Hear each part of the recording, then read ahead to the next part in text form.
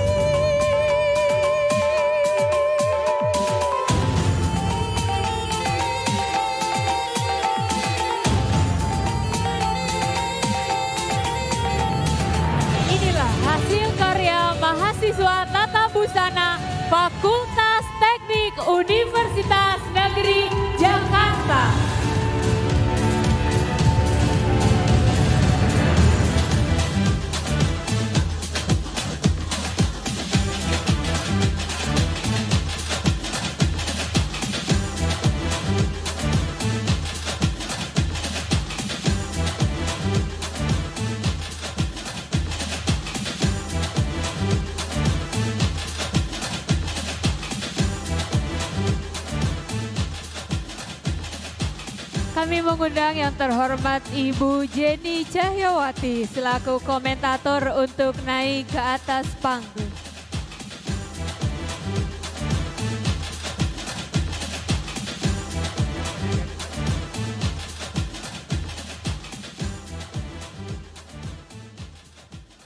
Assalamualaikum warahmatullahi wabarakatuh.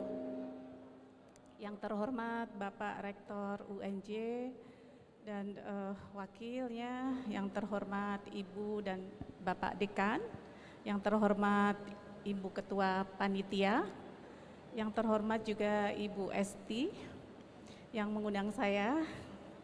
Eh, Masya Allah, ini koleksinya saya lihat dari dekat itu luar biasa. Eh, selamat Disnatalis UNJ yang ke-57. Di sini saya sangat mengapresiasi koleksi siswa-siswa dari eh, Prodi Tata Busana UNJ. Di sini eh, hybrid event yaitu menggabungkan pertemuan secara fisik virtual menjadi solusi melaksanakan fashion show yang mampu menggerakkan roda perekonomian para pelaku industri fashion khususnya. Dengan tentunya dengan protokol kesehatan yang sangat tertib.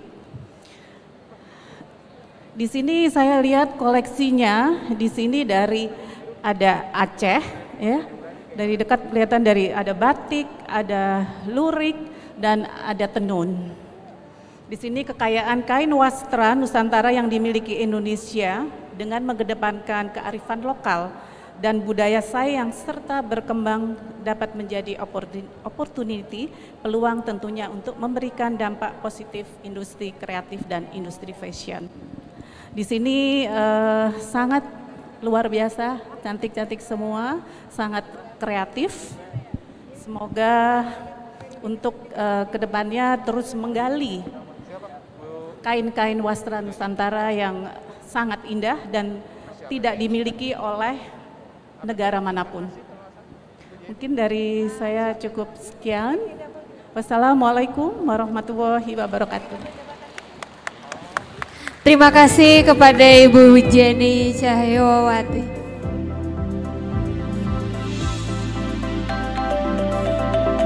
Kita berikan tepuk tangan sekali lagi untuk kreasi mahasiswa Tata Busana Fakultas Teknik Universitas Negeri Jakarta.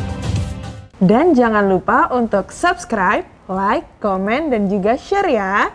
Dadah!